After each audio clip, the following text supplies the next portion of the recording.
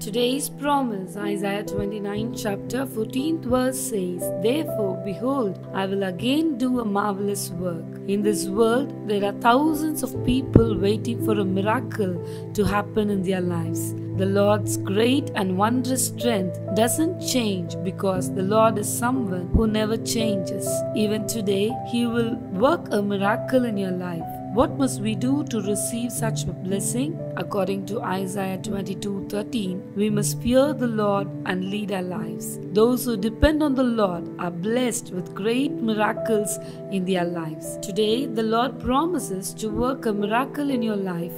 Lead a God fearing life and receive this wonderful blessing. May this day be a blessing to you. God bless you.